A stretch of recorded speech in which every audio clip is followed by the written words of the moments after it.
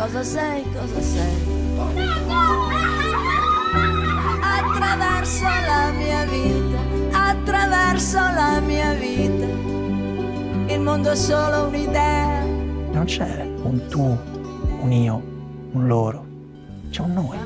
E siamo legati dall'amore. Noi, prossimamente, Rai 1.